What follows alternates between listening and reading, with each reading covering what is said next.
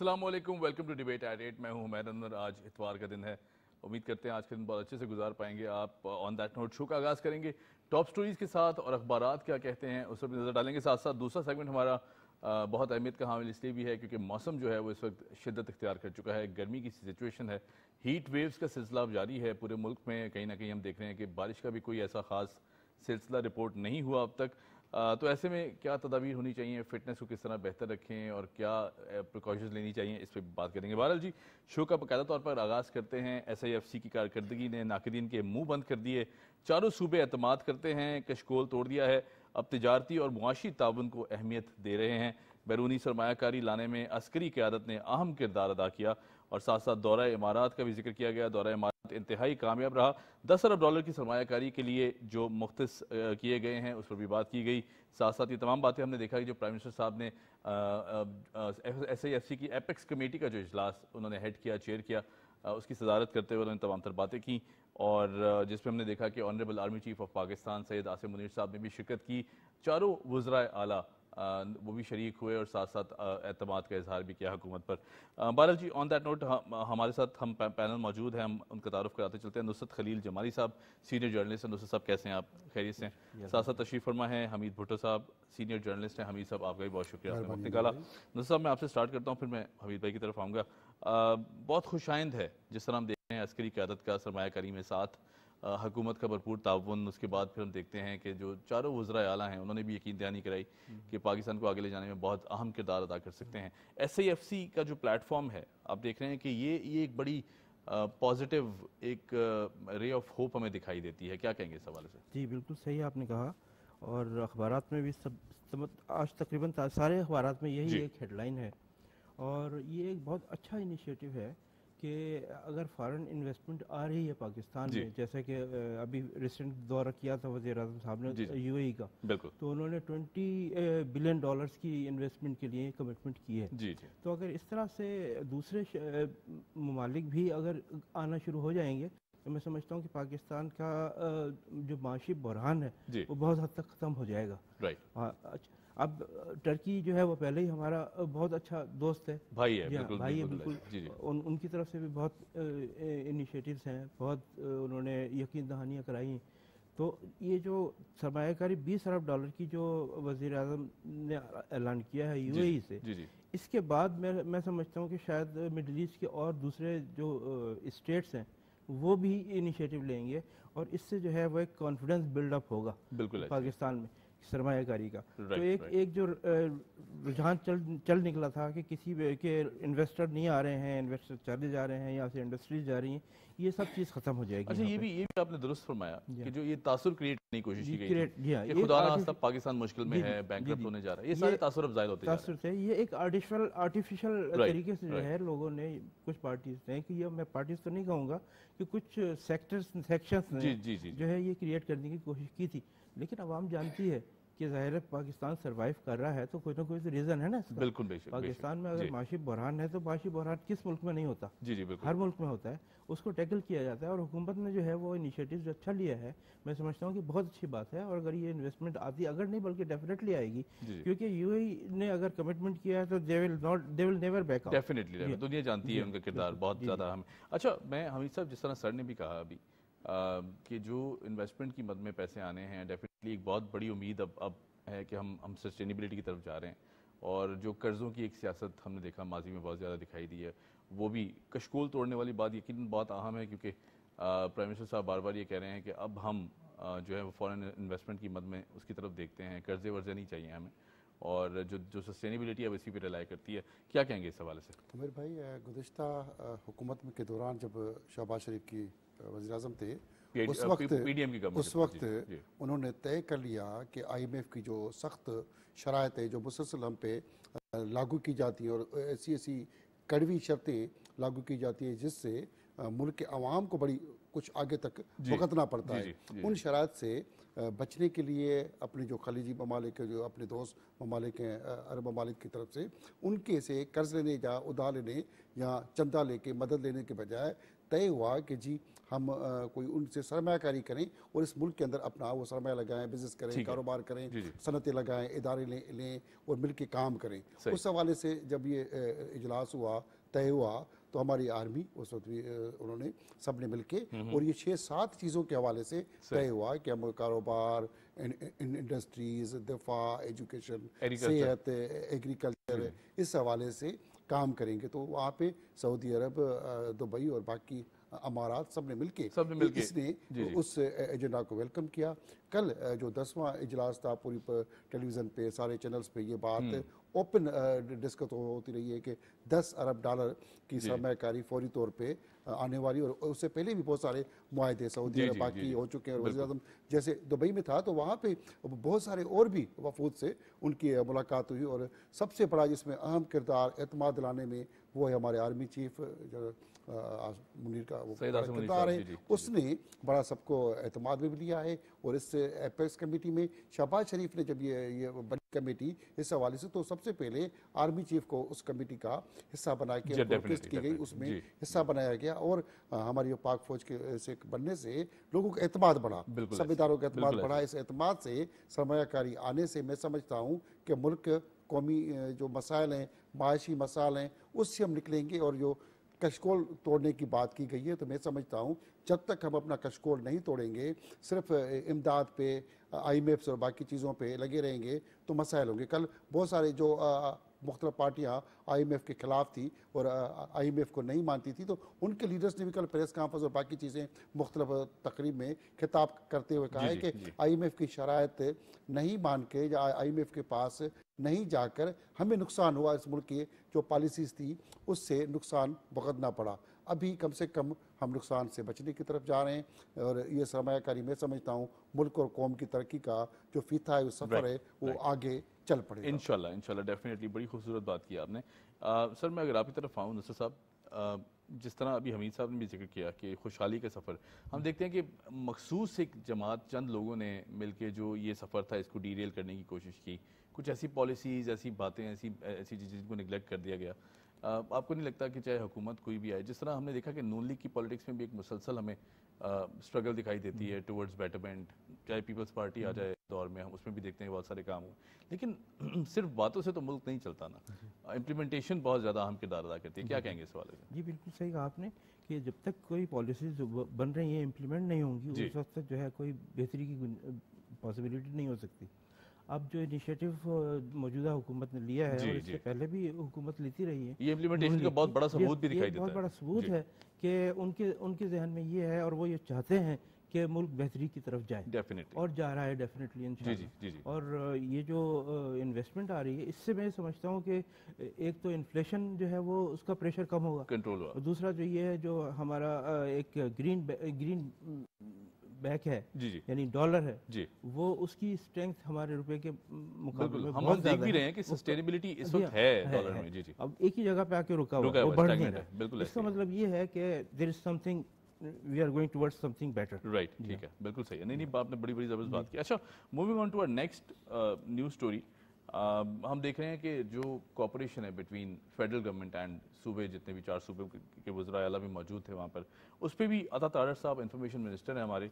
और बड़ी ज़बरदस्त पर्सनैलिटी के हामिल भी हैं, जो हम देखते हैं, बड़ा, बहुत मेचोर उनकी तरफ़ से एक एक स्टेटमेंट आती है। विफाक सूबे एक, गंडापुर ने मुकम्मल उनकी यकीनदानी कराई। हम देख रहे हैं कि नून लीग ने, नवाज़ शरीफ साहब ने जब जिस दिन इलेक्शंस थे, उसके अगले दिन आके जो एड्रेस किया था उन्होंने भी, उन्होंने मिलकर चलने की बात की थी। प्रेसिडेंट आसिफ अली जरदारी साहब ने भी मिलकर चलने की बात की, और हमेशा करते आए हैं। हमने पिछले टेन्यूर्स भी देखें ये कितना खुशाइंद है, हुकूमत वेलकम करती है, अगर कोई साथ दे के चलना चाहे, उसके बाद अगर कोई पाकिस्तान के लिए साथ दे रहा है तो सारे डिफरेंसेस बुलाकर पीछे छोड़ देते हैं। कल उसका हमें सबूत दिया तमाम तर जो वजरा अला थे वो भी आए थे और मौजूद थे उन्होंने बड़ी यकीनदानी कराई जिसको अता तारा साहब भी एंडोज कर रहे हैं। क्या कहेंगे इस बात से?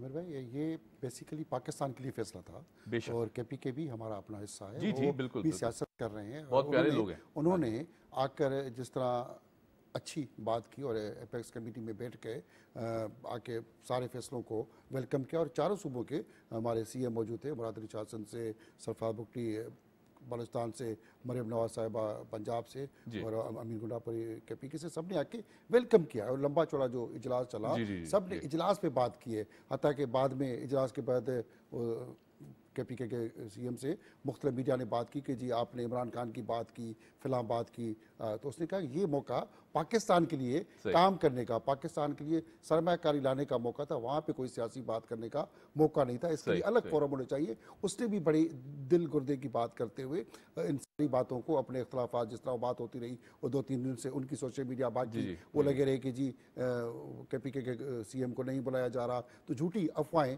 फैलाते रहे। वो झूठ भी खुद ब खुद ख़त्म हो गया कि वो झूठी प्रोपेगेंडा जैसे मुख्तलफ यूटर्न की सियासत चलती रही तो वो वैसे इस इस पर भी की जा रही थी मगर उनको थोड़ा सा अकुल आया कि हमें पाकिस्तान की तरक्की के लिए पाकिस्तान होगा तो उनकी भी सियासत होगी हमारी भी सियासत होगी सबकी सियासत होगी। अगर कोई अपनी सियासत अपनी दुकान चलाएगा या अपने तरीके से सुबह चलाएगा ऐसे तो मुमकिन नहीं है। ऐसे सारी इकाइयों ने सबने जितने भी हमारे फिरके मज़हब जो। मसलिक हैं सभी वही चाहते हैं कि पाकिस्तान तरक्की करे और पाकिस्तान तो सबकी फ़र्स्ट एजेंडा है इसके अलावा किसी की भी नहीं है। बाकी सियासत और सियासी बयान मुख्तलिफ़ वो चलते रहते हैं। मगर मैं समझता हूँ कि पाकिस्तान के खिलाफ कोई भी इस वक्त नहीं है और सब यही चाहते हैं कि पाकिस्तान की कौम तरक्की करेगी और लोग तरक्की करेंगे।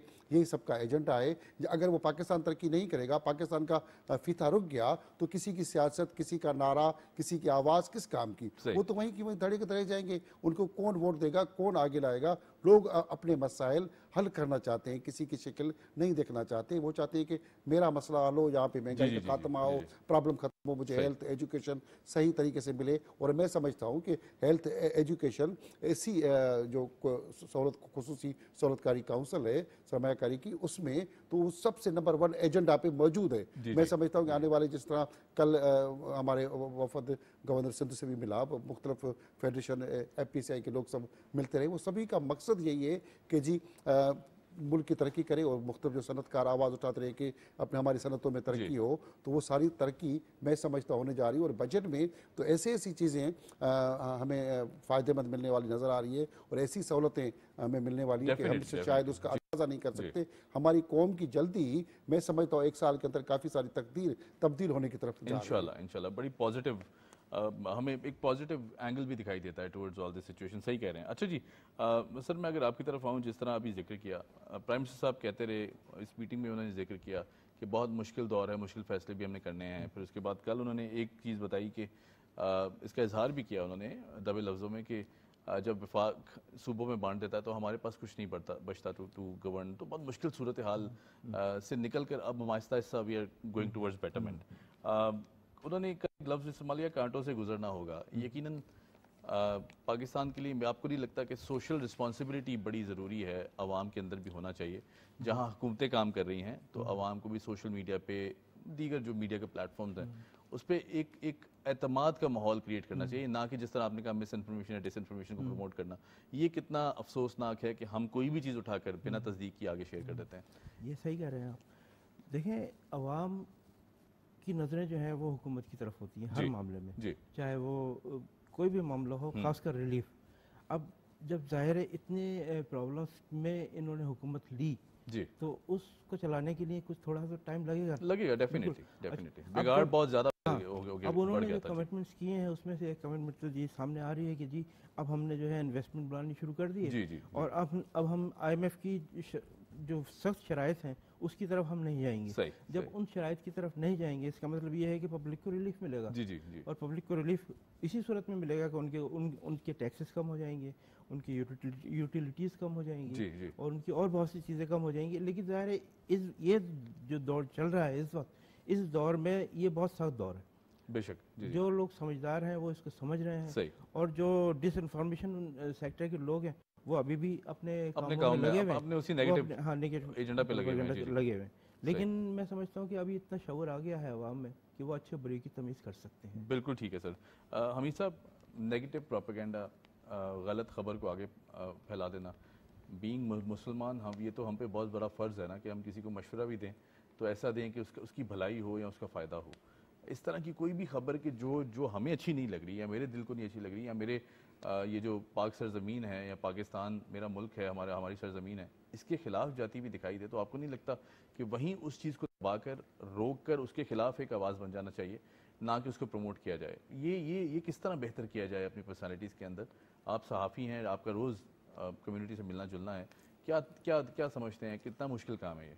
उमेर भाई गलत खबर चलने का जो ट्रेंड चला है जी। पाकिस्तान को मुख्तलिफ़ लोगों ने हम्म। जो अब मुख्तलिफ़ ट्रेंड से सहाफत के आए जी जी वो अठारह करोड़ लोग सहाफ़ी बन गए उन्होंने पाकिस्तान को पाकिस्तान के बनाने के बजाय खबरस्तान यूट्यूबिस्तान और पता नहीं क्या क्या बनाना शुरू कर दिया फेसबुकस्तान इस तरह की अलग अलग चीज़ें बना के पाकिस्तान का नक्शे पे वो अलग अलग तनकीद और जिस तरह और हमारे मुख्तलिफ़ टी वी चैनल ने भी उसका बिगाड़ किया है कि वो वो अच्छा मवाद पेश करने के बजाय अच्छे सुलझे हुए सियासतदानों से बात हम्म। करने के बजाय अच्छे मीडिया के लोगों से बात करने के बजाय ऐसे मुँह टेढ़े करके उल्टे सीधे कबाड़ी स्टाइल में बोलने वाले चीखे होके नारे देने वाले उनको हजूम की तरह सारे हमारे शोज़ एंकर्स वो एक अजीब हजूमस्तान बनता जा रहा है। सारा वो उसमें हर लफ्ज के आगे नून लगाते हुए वो पता नहीं कहाँ से कहाँ निकलते जा रहे हैं। इससे वक्त कम से कम जो ये गलत प्रपगंडा हो रही है सोशल मीडिया से लेके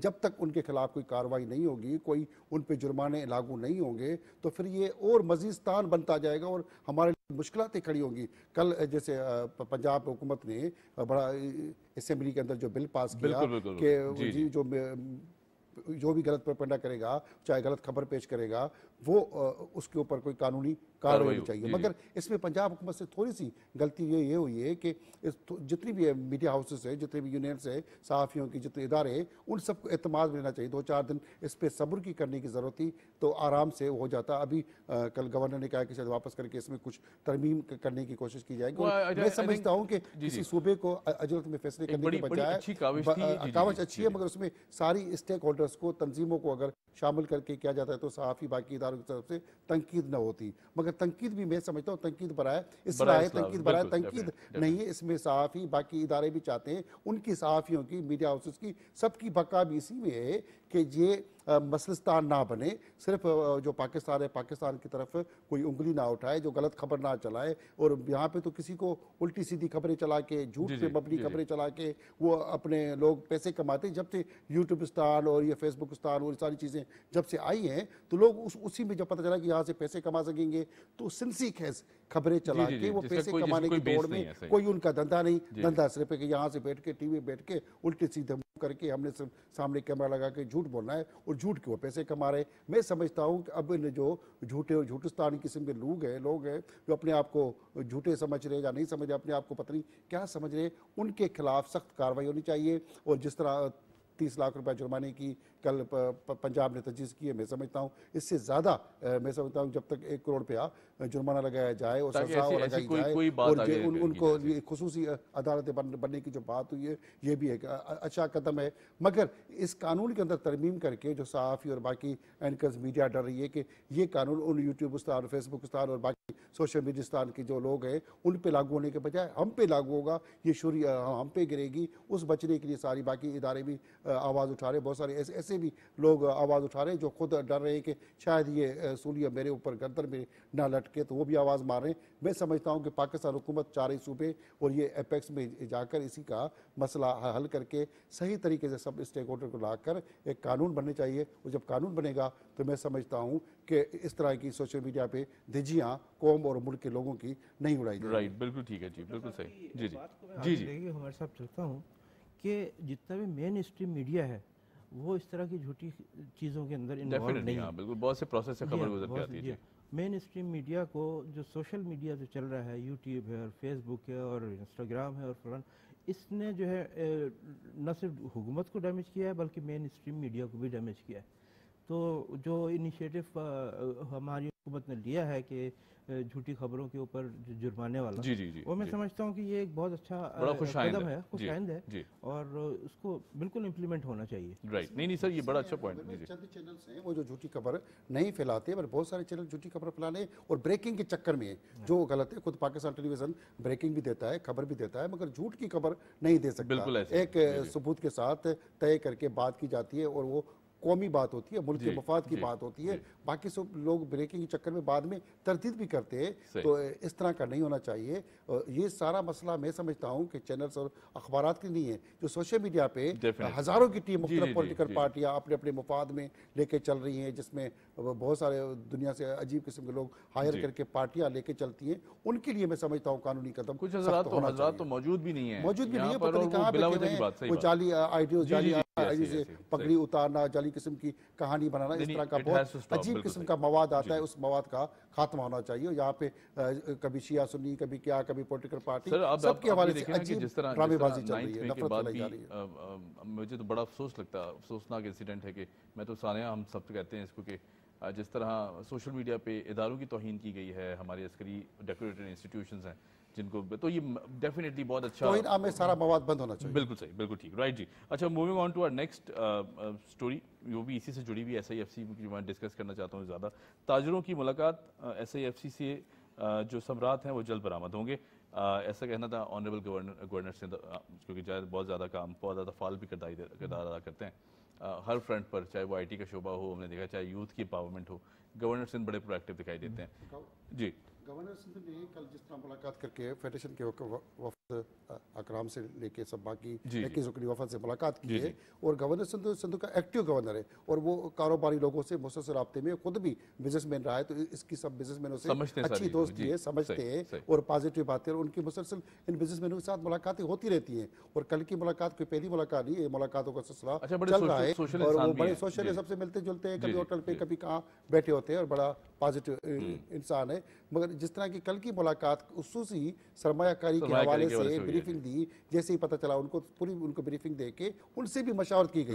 उनके मजीद मशावरत करके किस तरह की सरमाकारी मुल्क के अंदर लानी चाहिए। आप क्या करेंगे? तो ये मशावरतें मैं समझता हूँ कि पॉजिटिव अमल है कि बाकी सनतकारों से लेके सारे स्टेक होल्डर्स को बिठा के उनसे मशावरत करके वो किस किस काम में सरमाकारी लाना चाहते हैं कहाँ एक्सपोर्ट करना चाहते हैं कहाँ इम्पोर्ट करना चाहते हैं अपना माल कहाँ ले जाएँगे कहाँ उनको मसाइल दरपेश है। इसी सरमाकारी में बहुत सारी छः जैसे विंडो बनाई गई है खिड़कियाँ तो सबको अलग अलग खिड़की पे कहाँ से काम चाहिए और वन विंडो सर्विस होगी सारी इस सरमाकारी की एक पूरा मेकेनिज्म सिस्टम बनाया जा रहा है जिसमें सारे स्टेक होल्डर्स मौजूद होंगे। उसमें फेडरेशन भी होगी पाक फौज के भी होंगे हुकूमत भी होगी मुख्तलिफ़ पोलिटिकल लोग भी होंगे बाकी इदारे भी होंगे। तो मिलके मैं समझता हूँ कि सरमाकारी पाकिस्तान में ला के हम एक बड़ा पॉजिटिव कदम की तरफ़ जा रहे हैं और बिज़नेस बिजनेसमैनों ने कल इसको फेडरेशन ऑफ़ पाकिस्तान ने भी इसको वेलकम किया। ये भी एक पॉजिटिव अमल है हमारी बिल्कुल ठीक है बिल्कुल ठीक है। नहीं जी that's a very positive sign under this current situation sir एक आखिरी सवाल और फिर हम इस सेगमेंट को रैप अप करेंगे। जो अदम एतमाद पिछले टेन्योर में हमने देखा कि बिज़नेस कम्युनिटी में डेवलप हुआ ट्रस्ट डेफिसिट बहुत ज़्यादा था। अलहमदिल्ला विद विद करंट पॉलिसीज़ आपको लगता आपको नहीं लगता कि ये अब काफ़ी कम होता दिखाई दे रहा है? जिस तरह डॉलर की रोकथाम है स्मगलिंग को ख़त्म किया गया कर्व किया गया अफगान ट्रांजिट को मॉनिटर किया गया फिर चाहे वो कोई भी ऐसा इशू हो जखीरा अंदोजी के जो मामला थे उन पर बहुत सख्त क्रैक डाउन किया गया। तो आपको नहीं लगता कि आने वाले एक दो साल काफ़ी आसान और बेहतर साबित हो सकते हैं आवाम के लिए बिल्कुल बेहतर होंगे। अब देखिए कल एक डेलीगेशन ने चीफ मिनिस्टर साहब से मुराद अली शाह साहब से मुलाकात मुलाकात की जी जी और उसमें उन्होंने अपनी रिजर्वेशन दी कि भाई हमें ये ये प्रॉब्लम्स हैं। जी जी। और मेन प्रॉब्लम ये था कि पोर्ट से जो एक रोड निकलता है हाईवे की तरफ़ जी जी। वो सिर्फ़ नेटिव जेटी पुल के ऊपर है। ठीक है। अब, अब हमारे चीफ मिनिस्टर साहब ने उनको ये कहा कि एक और ब्रिज हम बनाएँगे जिसके साथ जो एक्सप्रेस वे पे लिंक करेगा। क्या बात है। कमर्शियल हाँ, एंगल एंगल के हिसाब से। बिल्कुल। तो इससे तो ये पता चलता है ना कि जो हुकूमत जो है जो इकदाम कर रही है उससे इन्वेस्टर्स का और ट्रेडर्स का कॉन्फिडेंस बिल्डअप हो रहा है। बिल्कुल। और मैं समझता हूँ एक एक चीज़ रह जाएगी बल्कि रह नहीं जाएगी वो है कि जो क्रैकडाउन हो रहा है क्रिमिनल्स के ऊपर स्ट्रीट क्राइम्स जो हो रहे हैं जी जी उसमें भी बहुत हद तक कमी आ गई कमी आ गई और जैसे कि कच्चे में ऑपरेशन चल रहा है आपको जी जी, जी, जी, जी, तो इससे लोगों के अंदर इतमाद आ रहा है। राइट और जो लूटमार होगी वो खत्म हो गई इंशाल्लाह इंशाल्लाह। सर बहुत शुक्रिया।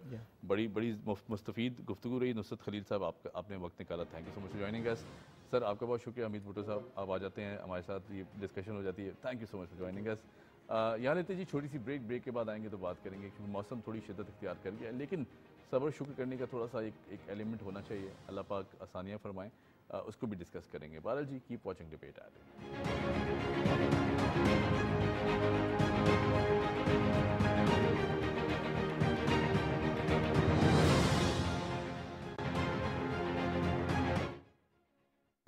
बढ़ता दर्जा हरारत हीट स्ट्रोक का बायस बन सकता है। अगर आप ये अलामत महसूस करें, जैसा कि पसीने का ना आना, चक्कर आना, गर्म सुर्ख और खुश्क जल्द शदीद प्यास लगना, उल्टियों मतली आना या बेहोशी तो फ़ौरन सायादार और ठंडी जगह पर रुक जाएँ और इमरजेंसी की सूरत में डॉक्टर से रजू करें। अगर आप खुद को हीट वेव से बचाना चाहते हैं तो गर्म मशरूबात से परहेज करें, ठंडे पानी से गसल करें, पानी और मशरूबात का ज़्यादा इस्तेमाल करें, सर को ढांप कर रखें। बिला ज़रूरत गर्मी में बाहर निकलने से इजतनाब करें। याद रखिए, आपकी थोड़ी सी गफलत जानलेवा साबित हो सकती है। मोहतात रहें, महफूज रहें।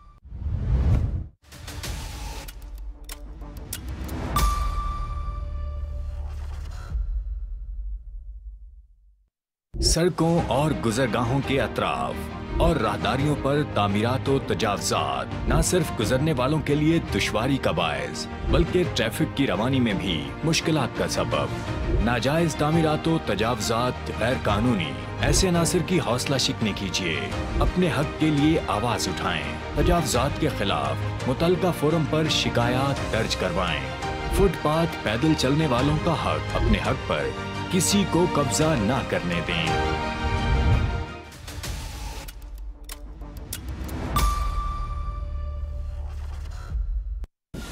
पाकिस्तान की मुआशी तरक्की और खुशहाली वज़ीर अजम शहबाज शरीफ की अव्वलीन तरजीह।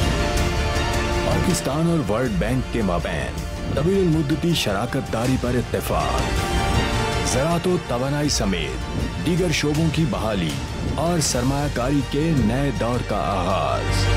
वज़ीर अजम मोहम्मद शहबाज शरीफ का ख्वाब इकतसादी तौर पर मज़बूत और खुशहाल Pakistan.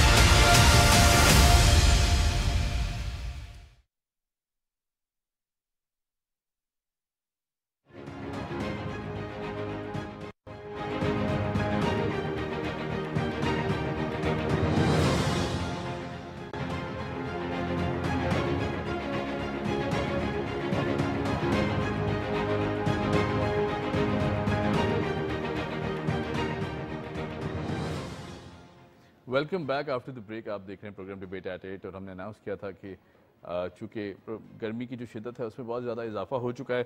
ऐसी सूरत हाल में अमूमन हम कभी कभी डिहाइड्रेट भी फील करते हैं कभी कभी हम बाहर निकलते हैं तो एक चक्कर आने की कैफियत है। फिर फिटनेस एक बहुत बड़ा सवाल निशान बन जाता है कि ऐसे मौसम में अगर फिटनेस के हवाले से कोई इकदाम भी किए जाएँ तो क्या किए जाएँ? लेकिन बहुत मुश्किल सूरत हाल है। हीट वेव्स का दौर चल रहा है और तकरीबन पूरा मुल्क इस वक्त इसकी लपेट में है। तो कोशिश की जाए कि ज़्यादा से ज़्यादा जो है पानी का इस्तेमाल करें और कोशिश करें कि वो लोग या वो परिंदे या जानवर जो जिनको पानी मैसर नहीं है, उनके लिए पानी भी रखा जाए। तो यकीनन ये जो ओवरऑल एक कलेक्टिव एफर्ट है, इसकी ज़रूरत है। बहरहाल जी फिटनेस को किस तरह पॉसिबल बनाया जाए इस इस दौर में जहाँ ये जो दो तीन महीने गर्म रहेंगे डेफिनेटली बहुत मुश्किल सूरत हाल है इस पर बात कर लेते हैं। हमारे साथ मेरीन फवाद सचवानी मौजूद हैं फिटनेस इंस्ट्रक्टर हैं डाइटिशियन हैं। मेरीन कैसे हैं आप? अल्हम्दुलिल्लाह आप कैसे हैं? बिल्कुल ठीक ठाक। मेरीन ज़ाहिर है चूँकि गर्मी बहुत ज़्यादा है इस वक्त और डॉक्टर्स तो ख़ास तौर पर हुकूमतें तो बड़ा काम कर रही हैं बता भी रहे हैं कि किस तरह प्रोएक्टिवली इस इस सिचुएशन को फेस किया जाए। लेकिन फिटनेस का एक बहुत बड़ा सवाल निशान बन जाता है। यूजुअली घरों में महसूर रहना फिर आप एक्टिविटी भी कम कर देते हैं। तो इसको किस तरह बेहतर बनाया जाए किस तरह का टाइम गुजार सकते हैं ड्यूरिंग दीज मंथ्स? अच्छा सबसे पहले तो कोशिश ये करनी चाहिए कि अगर आपको ट्रेनिंग करनी है अगर आपकी कोई एक्टिविटी है ऐसी तो कोशिश करें इंडोर्स करें। लेकिन कुछ एक्टिविटीज़ जो हैं वो ऐसी होती हैं कि जिसके लिए लाइक जो ट्रेनिंग्स जो हैं वो आउटडोर्स हम्म। होनी ज़रूरी हैं कुछ एथलेटिक एक्टिविटीज़ हाँ, ऐसी होती हैं जो आउटडोर्स ही। हो सकती हैं तो उसके लिए कोशिश किया जाए कि दिन का वो टाइम पीरियड हम्म, हम्म। जैसे कि आपको पता है कि सुबह 10 से लेकर 3 बजे तक जो है पीक होता वो पीक हाँ। गर्मी के जो है वो घंटे या तो उससे सुबह पहले कर लिया जाए उससे पहले लाइक हाँ, बहुत शाम में थोड़ा सा हाँ, या हाँ। तो फिर जो है सनसेट के बाद या लाइक चार बजे के बाद हम्म। इस तरह जो है वो अपनी ट्रेनिंग शुरू की जाए क्योंकि आपकी बॉडी जो है जितनी ज़्यादा जो है वो हाई टेम्परेचर में रहती है तो उसका जो अपना बॉडी का नेचुरल कूलिंग सिस्टम जो होता है ना तो वो काम करना जो है वो स्लो कर देता है बंद कर देता है। सही है ठीक है। तो इसकी वजह से ज़ाहिर है हाइड्रेशन भी बहुत हम्म, ज़रूरी हम्म। है। और हाइड्रेशन को आप किस तरीके से पूरा कर सकते हैं कि एक तो ये है कि आप नॉर्मली एडवर्टीजमेंट्स में देख रहे होते हैं कि स्पोर्ट्स हम्म, ड्रिंक एक तो ये कि वो बहुत ज़्यादा जो है हाई कैलोरिक होती हैं।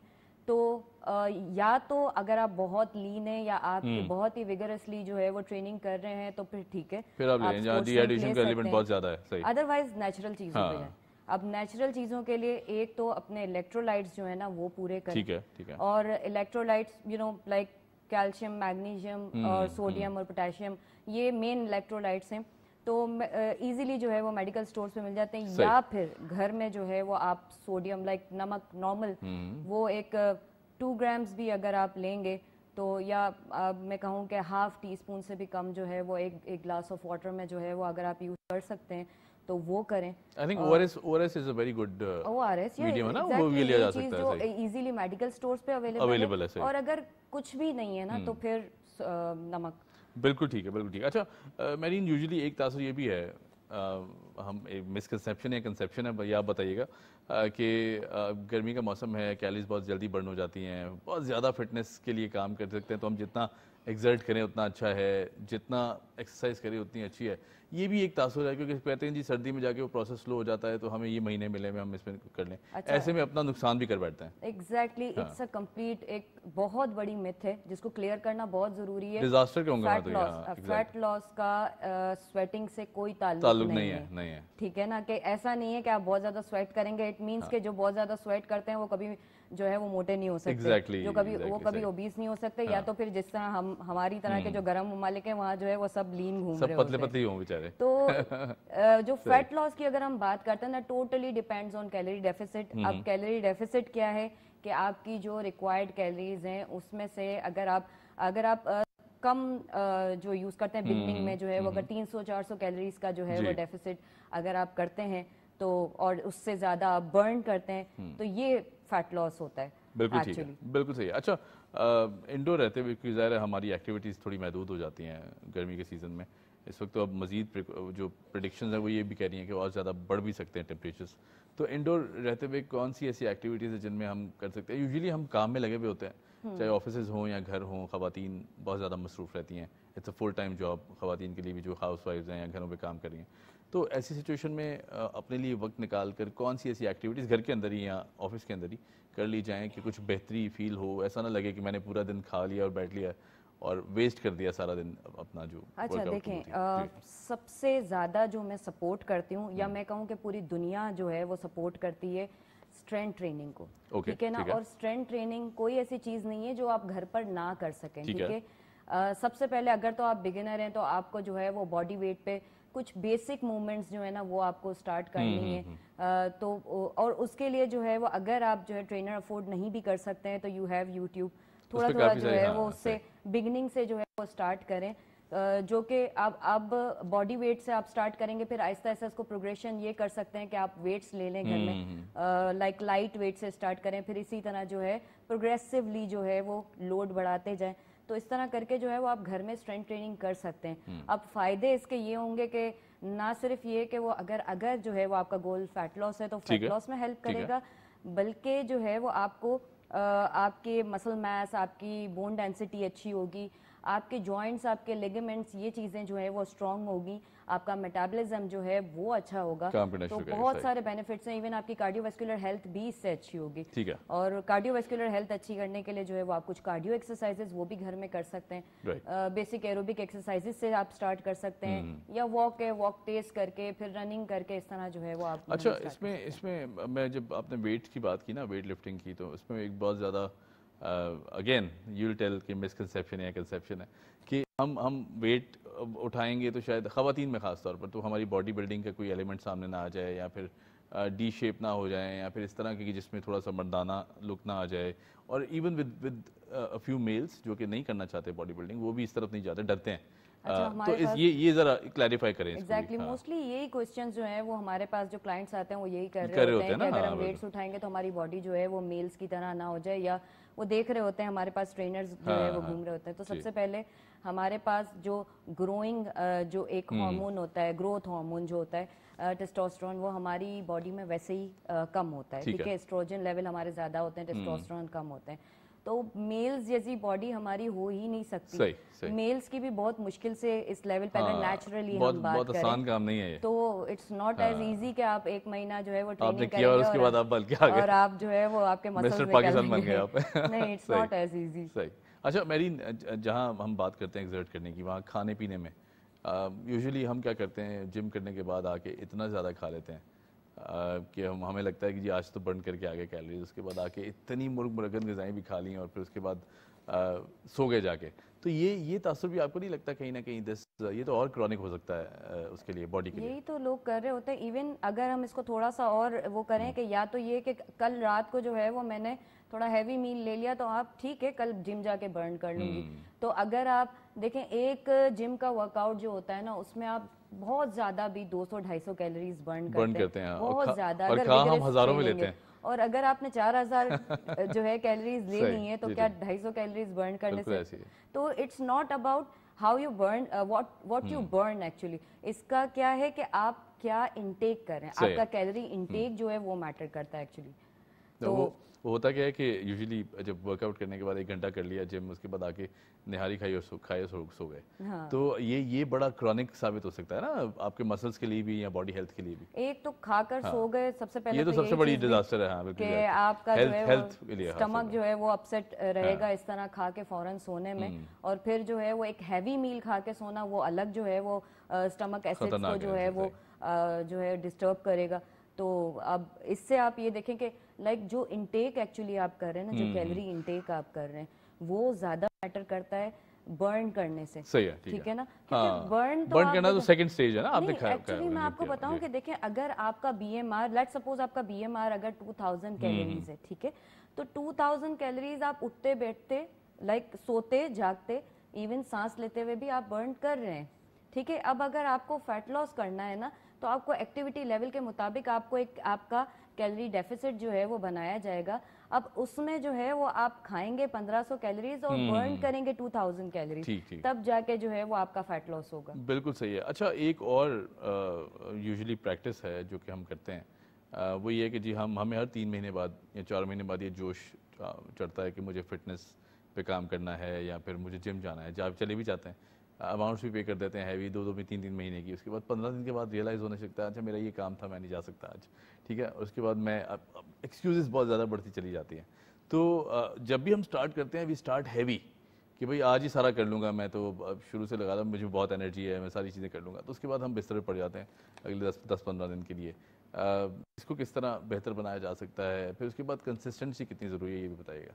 अच्छा fitness is actually a lifestyle right it's more about building habits रात को जल्दी सोने की आदत सुबह जल्दी उठने की आदत आप जो है वो हाँ, एक नेचुरल साइकिल जो है आप लाइक ग्रेजुअली जो है ये चीज़ें जो है वो अपने अंदर अपडेट करते हैं। Healthy hmm. खाने की आदत कि अगर आप अपने लाइक किसी की किसी को आदत है रोज ही पिज्जा हम्म। खाने की तो आहिस्ता आहिस्ता जो है वो हफ़्ते में एक बार करके पंद्रह दिन में एक बार करके इस तरह जो है वो इसको डिक्रीज करें। कम कर सकते और इसी तरह जो है वो फिटनेस में सबसे पहले लोगों के लिए ये थोड़ा सा मुश्किल होता है कि डाइट और जो है वो वर्कआउट को एक हम्म। साथ लेके चलना। हम्म। तो जो हैबिट पहले आपके लिए ज़रूरी है लाइक आपके लिए आपको ऐसा फील होता है कि वर्कआउट आपके लिए ज़्यादा ज़रूरी है तो पहले आप वर्कआउट पे आ जाए। क्योंकि इसके हज़ारों बेनिफिट्स हैं। नॉट हाँ, जस्ट आपका फैट लॉस होगा हम्म। बहुत सारे बेनिफिट्स हैं।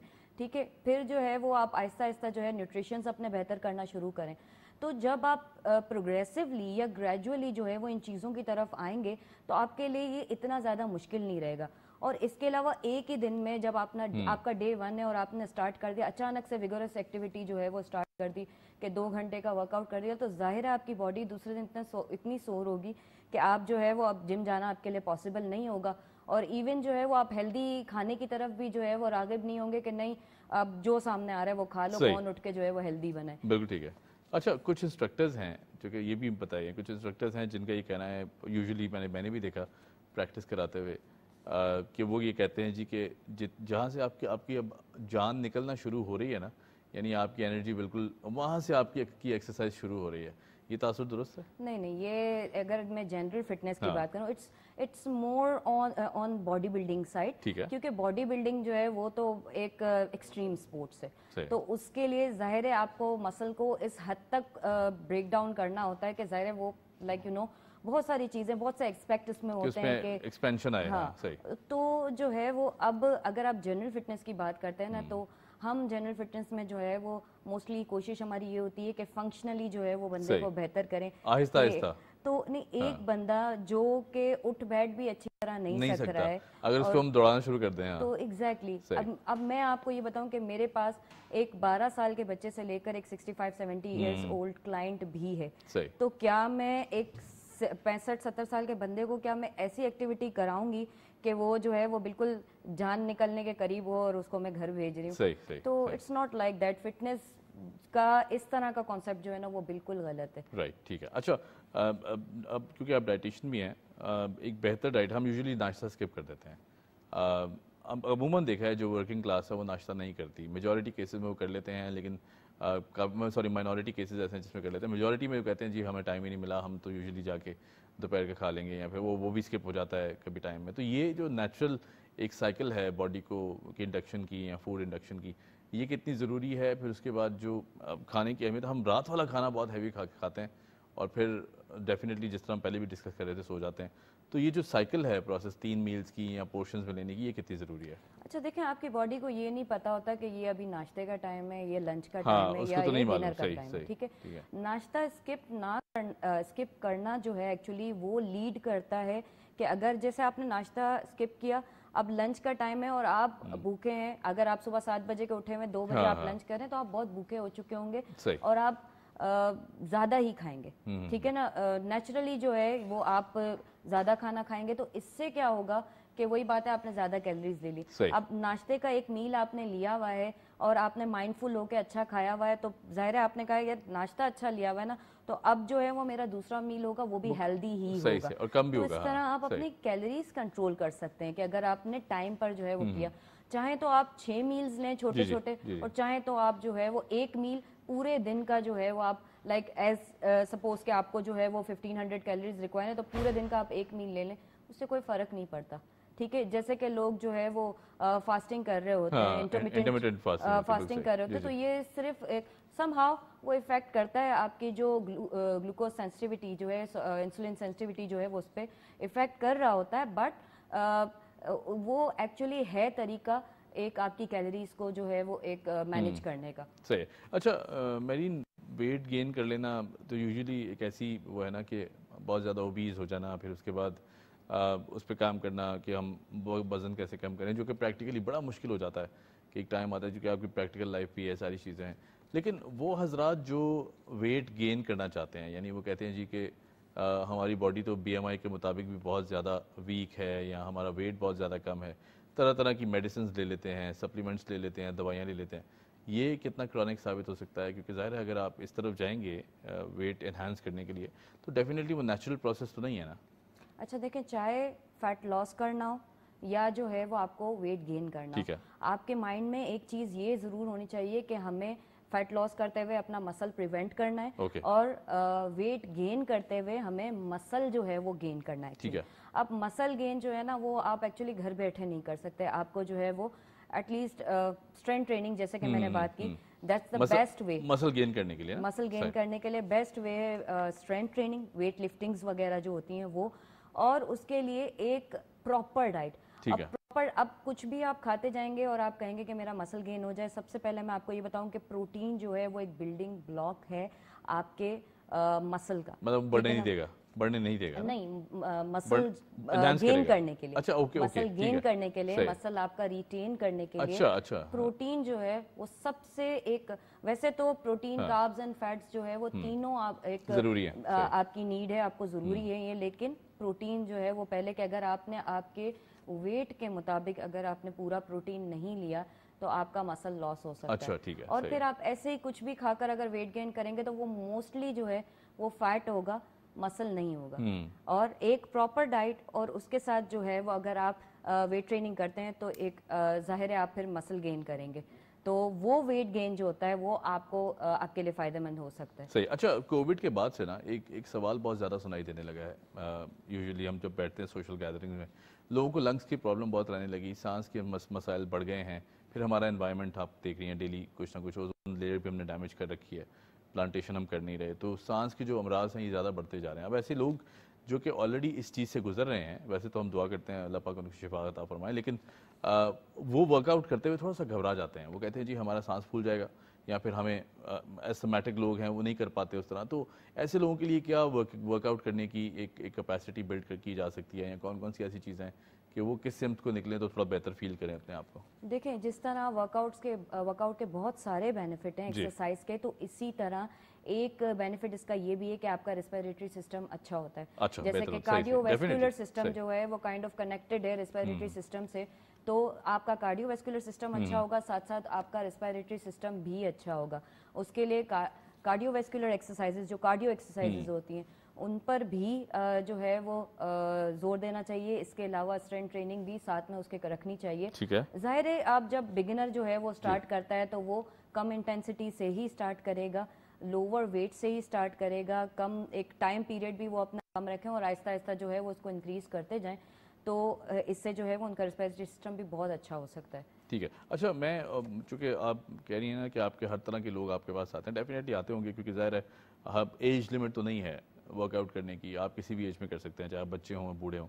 जो बूढ़े हजरात हमारे हैं घरों घरों में बड़े हैं यूजली बैठ बैठ के बिस्तर पे बैठ बैठ के या लेट लेट के कोई एक्टिविटी नहीं होती आ, तो उन उनको काफ़ी सारी कॉम्प्लिकेशन का सामना आता है जिसमें जॉइंट की पेन्स हैं और बहुत सी चीज़ें आ जाती हैं। ऐसे लोगों को क्या करना चाहिए? वॉक अगर नहीं कर सकते कैपेसिटी नहीं है चलने की या कोई इस तरह की सिचुएशन है कि जिसमें बेड रिडन है उनके लिए क्या पॉसिबिलिटीज़ हैं कि वो क्या कर सकते हैं वो भी थोड़ा बताइएगा। अच्छा जो बेड रिडन है तो वो तो ज़ाहिर है लाइक बहुत ही ज़्यादा कोई क्रॉनिक इलनेस है, हाँ, है, है। तो उनके लिए तो जो है वो एक प्रॉपर वर्कआउट होगा। लाइक वो उनके डॉक्टर की या फिजियोथेरेपी कोई एक्सपर्ट बता फिजियोथेरेपी वगैरह और उनके डॉक्टर हम्म। की इंस्ट्रक्शंस के मुताबिक उनके लिए वर्कआउट होगा। लेकिन इसके अलावा भी अगर हमारे घर में ओल्ड सिटीजन हम्म। हैं तो उनको जो है वो ये नहीं करना चाहिए कि लाइक हमारे यहाँ मोस्टली ये सिस्टम है क्योंकि पाकिस्तान में ही ये हाँ। या हमारे एशियन कंट्रीज़ में कि हम ज़्यादा काम नहीं करने पचास साल के बाद तो चालीस साल के पैंतालीस साल के बाद तो हम वैसे ही अपना आप छोड़ देते हैं। काम ना करें। आप जो या फिर घर में भी हमारी खातन जो है वो अगर काम कर रही होंगी तो वो या तो डर के मारे कह देते नहीं इनको कुछ हो ना जाए। कुछ हो ना जाए तो हाँ। इसलिए इसलिए ना कर आप चले नहीं ज़्यादा। हाँ अगर वो चलना चाह भी रहे हैं हाँ, या आप कोई काम ना करें तो सबसे पहले तो मैं ये कहूँगी हम्म। कि अगर आपके घर में आ, आ, कोई ओल्ड हैं लोग तो उनको जो है वो जो करना चाह रहे हैं ना हाँ, घर के छोटे और मेरे ख्याल वो एवेन्यूज बनाएँ कि वो हाँ, करना शुरू करें इवन हाँ. अगर वो बाहर जाके करीब में ही कुछ अगर वॉक करना चाह रहे हैं हाँ. या घर में ही वॉक करना चाह रहे हैं या घर में भी कोई काम अगर कोई एक्टिविटी रोके नहीं रहे हैं तो उनको ना रोके क्योंकि आप देखें अगर आप पाकिस्तान से बाहर कहीं जा, जाते हैं ना हम्म। तो आप ये देखेंगे कि वो लोग जो है लाइक घर में मोस्टली यही होता है कि 80 नब्बे साल के लोग भी अकेले रह रहे होते हैं बिल्कुल लाइक बच्चे उनके अलग हाँ, रह रहे exactly. होते हैं अलग सिटीज़ में इवन रहे फिट वो चल फिर भी रहे हैं वो काम भी कर रहे हैं सारे काम हाँ. कर रहे होते हैं इवन आई विटनेस इस तरह के लोगों को मैंने विटनेस किया है कि वो मतलब 75, 80, 90 इस एज के होते हैं और सब जो है वो अपने घर के काम खुद कर, रहे होते हैं बाहर से ग्रोसरी वगैरह वो सब चीज़ें खुद ला रहे होते हैं। पूरी झुकी हुई बैग के साथ भी वो सब हाँ, कर रहे अच्छा ये आउट ऑफ़ लव भी हमारे यहाँ तो चीज़ फैमिली सिस्टम ऐसा है तो हम हम नहीं चाहते कि हमारे बड़े जो है वो मेहनत करें या वो हम्म। करें क्योंकि ज़ाहिर एक, एक उम्र गुजार चुके हैं हमारे लिए बहुत कर चुके हैं तो हम आउट ऑफ़ लव भी थोड़ा सा ये उनको बर्बादी की तरफ़ ले जाते हैं हम्म। कि फ़िज़िकल ना हो आप कोई एक्सर्शन ना करें बैठे रहें आपको सब चीज़ें तो मिल रही हैं आप हमें बता दिया करें। तो जब वो उठना भी चाहते हैं या यहाँ सीढ़ियाँ उतरना भी चाहते हैं तो हम उतरने नहीं देते। फिटनेस तो, इंडस्ट्री में आने से पहले तक मेरी भी यही सोच थी कि मेरे हाँ। घर के बड़े हैं वो कुछ ना करें मैं आपको कर दूँगी। सही, सही। लेकिन मैं फिर अब यही सोचती हूँ कि यार वो छोटे मोटे भी काम करें चीज़ें इधर से हमने खुद खराब किया उनकी सिचुएशन को। एग्जैक्टली हाँ। यही चीज़ है और हम खुद उनको बेड रिडन करते हैं। बिल्कुल ऐसी है तो मैं तो सिर्फ़ इतना कहती हूँ मैं बार बार स्ट्रेंथ ट्रेनिंग का ज़िक्र इसलिए करती हूँ कि अगर आप अभी से स्ट्रेंथ ट्रेनिंग स्टार्ट हम्म, करेंगे हम्म, और हम्म। अल्लाह पाक ने अगर आपको अस्सी नब्बे साल की ज़िंदगी दी है क्योंकि स्ट्रेंथ ट्रेनिंग आपका मसल प्रिवेंट करती है। ठीक है। आपको मसल गेन करने में भी हेल्प करती है और मसल आपका रिटेन भी करती है। अच्छा। सार्कोपेनिया का आपने नाम सुना होगा मसल लॉस एज के साथ साथ लाइक जैसे आप होता जाता है। क्रॉस करते हैं हर साल आप कुछ परसेंट मसल लॉस करते हैं। हाइट भी कम होती है बॉडी मास भी कम हो जाता है। हाइट कम होने की वजह बोन डेंसिटी का लूज होना होता है और तो बोन डेंसिटी भी आपकी लूज होती है ऑस्टियोपोरोसिस ऑस्टियोआर्थराइटिस ये सब चीज़ें जो है वो आपको होने पर होने लगती हैं और सार्कोपेनिया तो इस चीज़ को प्रिवेंट करने के लिए लाइक like अभी से इवन बच्चों को ट्रेनिंग हम्म। पे लगाएँ और जिस भी एज में हैं आप अभी से ट्रेनिंग स्टार्ट करें ताकि अगर जो है वो आप 80 नब्बे साल की ज़िंदगी अगर आपको अल्लाह पाक ने दी हुई है तो आप एटलीस्ट बेड रिडन होने से बचें और अपने पैरों पर जो है वो आप चल रहे हो। तो बस ये चीज़ें सेहत से बढ़कर जो है वो कोई चीज़ नहीं अल्लाह अल्लाह पाक का सबसे बड़ा तोहफा है। और इवन अगर हम इस इस तोहफे की जो है ना वो अगर हम हिफाजत करते हैं अल्लाह पाक हम्म। की तरफ़ से अमानत है हमारी बॉडी तो उस अमानत को जो है वो अगर हम अच्छी तरह से लेकर चलते हैं तो ये चीज़ भी एक एक तरह से इबादत के जुमरे में आती बिल्कुल ऐसी है, बिल्कुल ऐसी अल्लाह पाक ने ता किया तो डेफिनेटली बहुत बड़ी नेमत है जिसकी जिसकी प्रोटेक्शन बहुत ज़रूरी है। उसे अच्छे इन्वायरमेंट में रखा जाए, अपनी बॉडी को भी खास तौर पर ख्याल किया जाए। डेफिनेटली बड़ी ज़बरदस्त बात है। अच्छा एक जाते जाते क्विक क्विक मैसेज हम उम्र के लिहाज से या फिर एज के लिहाज से यूजली जिस तरह हमने बताया कि रोक भी देते हैं कुछ काम करने के करना भी चाह रहे होते नहीं करते। बच्चों को भी हम कभी कभी स्ट्रेस करते हैं। तुम्हें क्या ज़रूरत है अभी? ठीक है ना? तुम बैठो, खिलाते जाते हैं उनको। माएँ ख़ास तौर पर चाहती हैं कि बच्चा जितना हेल्दी हो हाँ, हाँ माँ को तो वीक ही लगता है। हाँ। सही है तो वो हेल्दी के चक्कर में इतना ज़्यादा प्यार इंजेक्ट कर दिया जाता है कि बच्चा जो है वो बेचारा सारी उम्र मोटा होकर घूम रहा होता है। इस इसको भी किस तरह वो किया जाए अच्छा मैं ये कहती हूँ कि जब तक आपका बच्चा एक्टिव है ना हाँ। अच्छी तरह उठ बैठ रहा है खेल कूद रहा है तो इट मीन्स वो हेल्दी है। है। ज़रूरी नहीं है कि हेल्दी करने के लिए उसे मोटा दिखाया हाँ, जाए। बस ज़बरदस्ती खिलाया जाए और उसे किसी ना किसी एक्टिविटी में डालें। हम्म। ज़ाहिर है इतने छोटे बच्चे को हमारे यहाँ जो है वो ये कॉन्सेप्ट नहीं है। अगर मैं कहूँगी हर किसी को वेट लिफ्टिंग में लगाए हाँ, तो माए परेशान हो जाएगी। हाँ एग्जैक्टली बहुत सारे मिथ्स है ना। बहुत सारे मिथ्स हैं। उनको हम ज़ाहिर जिस तरह हम्म। अभी लोगों में इतना चेंज आया कि मैं आपसे कह रही हूँ मेरे पास 12 साल की बच्ची भी ट्रेनिंग करने के लिए आती है बारह तेरह तो इस तरह जो है वो मेरे पास ट्रेनिंग करने आ रहे होते हैं माशाल्लाह बहुत अच्छी स्ट्रेंथ ट्रेनिंग कर रहे होते हैं। बिल्कुल ठीक है। तो अब उनके पेरेंट्स का जो है वो माइंड इस चीज़ के लिए क्लियर हो चुका है। तो आप अगर अपने बच्चे को स्ट्रेंथ ट्रेनिंग नहीं हम्म। करवा सकते तो एटलीस्ट उसको किसी न किसी एक्टिविटी में कोई स्पोर्ट्स एक्टिविटी ताकि वो बैलेंस रहे आगे फ्यूचर में भी तो और और उसको हेल्दी डाइट हम्म। दें ताकि वो जो है जो वो खा रहा होगा एक्चुअली उसी मुताबिक जो है वो एक्टिव रह सकेगा। Marine thank you so much for joining us आपने वक्त निकाला। और डेफिनेटली फिटनेस ऐसी चीज़ है जो कि बहुत ज़रूरी है। हम लोगों को चाहिए कि हम कोशिश ये करें कि खाएँ भी अच्छा और दूसरों को खिलाएँ भी अच्छा ताकि एक बैलेंस जो है ना सोसाइटी में आसपास भी आपके वो मौजूद रहे और फिर जो एग्जर्शन की एक सिचुएशन है, वो ऐसे नहीं होता कि आपने मैंने घर के काम कर लिए या मैंने, मैं बहुत ज़्यादा आज थका हुआ हूँ तो मैंने एग्जर्शन कर ली। पूरा माइंड बनाना पड़ता है कि पूरा इन्वायरमेंट अपने दिमाग को भी बताना पड़ता है कि बाकी मैं चाहता हूँ कि वेट लॉस हो। तो बहरहाल जी, मेहनत करनी बहुत ज़रूरी है। ऐसी सिचुएशन में हम तमाम तर लोगों पर ये लागू होता है कि कोशिश करें मुआरे को फिट रखें। ऑन दैट नोट हमें दीजिए इजाज़त। आपसे मुलाकात होगी अगले जुमेरात की सुबह कीप वॉचिंग डिबेट एट